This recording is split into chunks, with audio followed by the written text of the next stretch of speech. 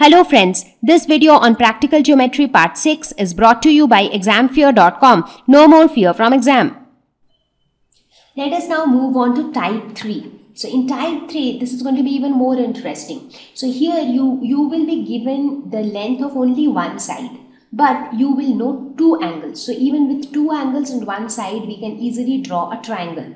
So let's see how. So this approach is called angle side angle. Now did you notice something interesting? When we learned about congruence of triangles, there also we had these criteria. Why? That's because these are the criteria which decides how a triangle is. So if you know two angles and one side, the included side, then you know how the entire triangle is basically.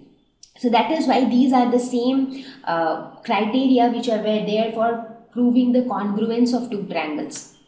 So in this case, we have to draw a triangle ABC with given measurements of angle A, angle B and AB. So if, if you can imagine it like a triangle like this, let's say you have a triangle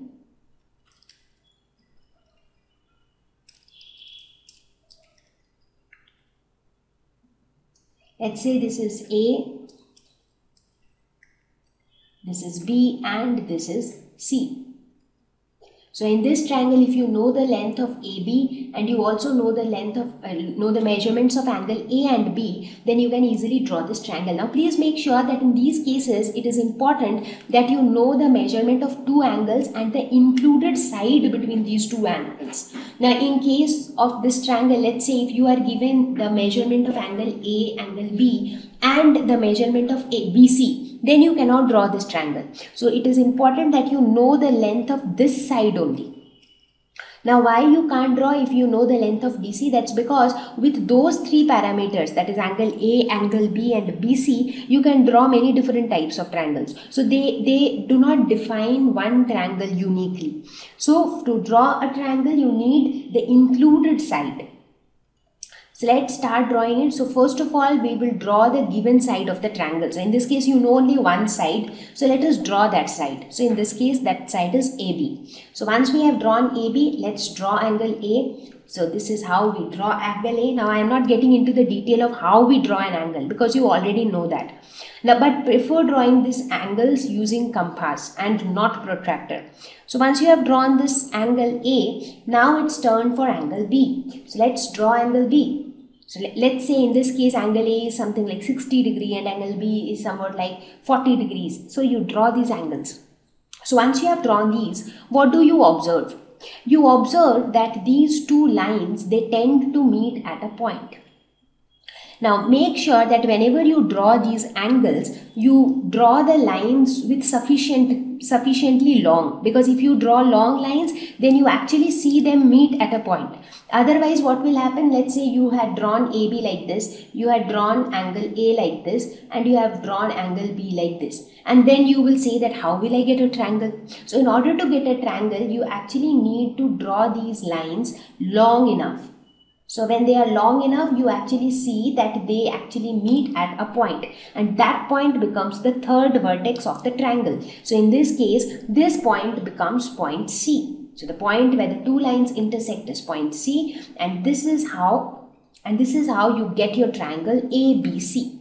So the important point to remember is that whenever you are trying to draw a triangle, both for type 2 and type 3, it is important that you should know the included side and the included angle. That is one important point. The next important point is when you are drawing a triangle with angle side angle criteria, make sure that you draw, when you draw the angles, the length of the sides are sufficiently long so that you can actually see them intersect at a point.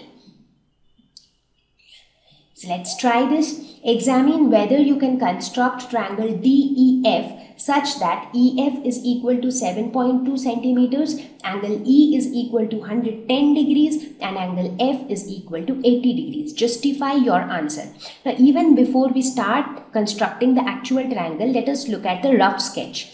So in the rough sketch, first we will draw the length of the side which is given. So which is the length of the side? That is nothing but EF. So let us draw EF. Let's say this is EF which is given as 7.2 centimeters. Now let's draw the angles. So the first angle is angle E which is 100 and 110 degree Now this is greater than 90 degree. So this is going to be an obtuse angle. So maybe this is this is just a rough sketch. So this is an approximate diagram. So let's call this as angle E which is 110 degree. Now we have to draw angle F which is 80 degree. Now 90 degree means perpendicular, right? 90 degree on point F would have been something like this. So 80 degree would be slightly less than 90 degree. Maybe somewhat like this. So this angle is 80 degree. So this is again an approximate thing. Now you have to tell whether you can draw a triangle with these measurements or not. Now in order to draw a triangle, it is must that these two lines, that is this line and this line, they should intersect. Right? Only then the point where they intersect, that point will become point D. Right? But looking at this diagram, do you think that these two lines will ever intersect? They will ever meet for that matter? No. Why is it so? So first of all, if they do not meet, will you ever get the point F, D? No, you will never get point D. So will you ever get the triangle DEF? No. So that means we cannot draw triangle DEF with this measurement.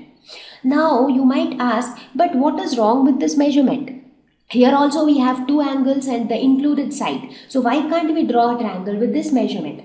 Now have a closer look at the values of the angles which are given here.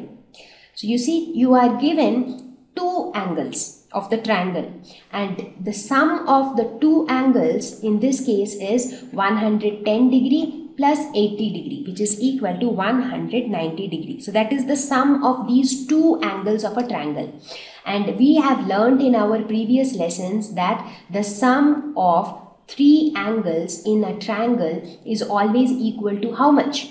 So the sum of three angles in a triangle is always equal to 180 degree. Now when the sum of three angles is equal to 180 degree, how can the sum of two angles be greater than 190 degree? That is not possible right so that means we could not draw a triangle with these measurements because the measurement of the angles which are given in the problem they are incorrect we can never have a triangle with two angles equal to 110 degree and 80 degrees respectively. Of, of course, this angle can be 110 degree, but in that case, this angle has to be a lot smaller. It should have been some 30 degree or 20 degree or 40 degree. So that is possible.